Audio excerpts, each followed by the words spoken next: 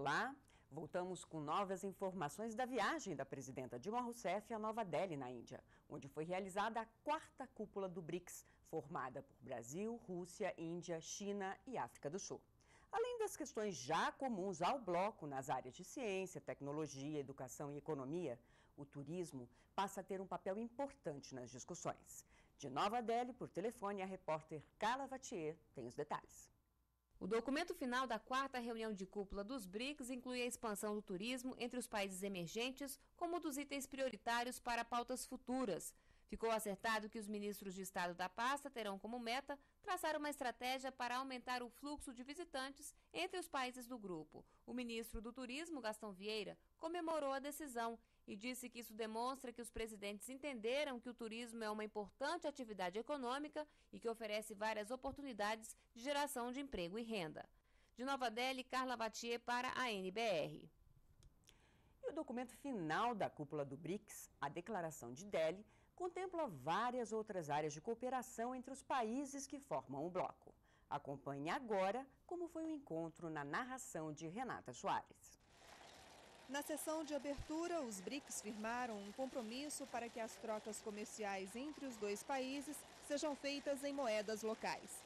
O acordo foi assinado pelos presidentes dos bancos de desenvolvimento. Foi instalado também um grupo de trabalho para estudar a criação do Banco de Desenvolvimento dos BRICS, que vai financiar projetos de infraestrutura nos países emergentes e nações pobres.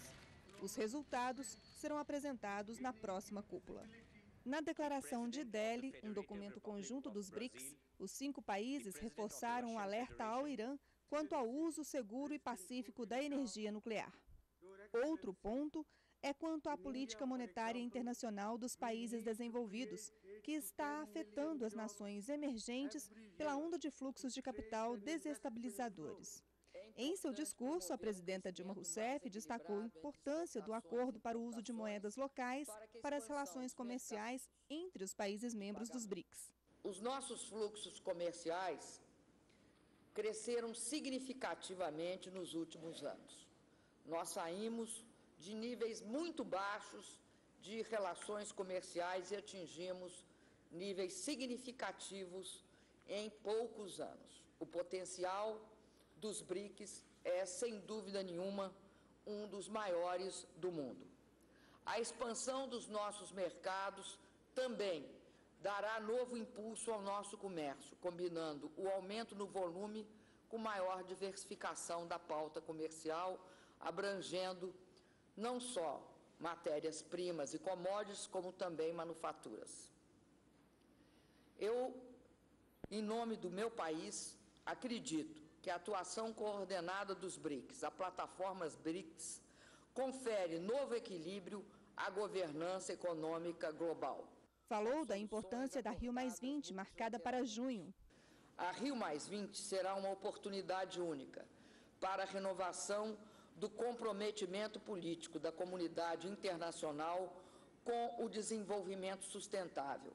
Do desenvolvimento sustentável esse baseado em três pilares: no pilar ambiental, no pilar econômico e no, e no pilar social. Trata-se, portanto, de uma visão inclusiva, ambientalmente correta e que exige um crescimento compatível com as necessidades de nossos países. Do e defendeu a criação do Estado palestino. O Oriente Médio tem que deixar de ser foco permanente de tensões mundiais. Isso só será possível com a existência de um Estado palestino livre e soberano, em convivência pacífica com o Estado de Israel, seguro em suas fronteiras e em paz com seus vizinhos. O primeiro-ministro da Índia disse que a situação global enfrentada hoje é um cenário misto. De um lado, emergentes crescendo, e de outro, países ricos com obstáculos a vencer. Mas todos estão atingidos pela lentidão global. Já o presidente chinês, Hu Jintao, ressaltou que essas diferenças entre os países do grupo podem ser uma oportunidade de crescimento dos emergentes e de estabilidade para a economia global. Dmitry Medvedev, presidente da Rússia, defendeu reforma nas organizações financeiras internacionais para garantir o reconhecimento e o fortalecimento dos BRICS. Jacob Zuma, presidente sul-africano, manifestou preocupação com a questão da segurança alimentar e mudanças climáticas e anunciou o interesse do seu país em sediar a próxima cúpula dos BRICS no ano que vem. Durante entrevista coletiva, a presidenta Dilma adiantou que em breve vai anunciar medidas para o Brasil na área econômica. São medidas de estímulo ao setor produtivo, que tem como objetivo ajudar o país a elevar a taxa de investimento de 19% para 24%. A presidenta reafirmou também a intenção de reduzir a carga tributária e a possibilidade de aumentar em 400 mil o número de unidades habitacionais a serem construídas pelo Minha Casa Minha Vida. E nós voltamos a qualquer momento com outras informações. NBR, a TV do Governo Federal.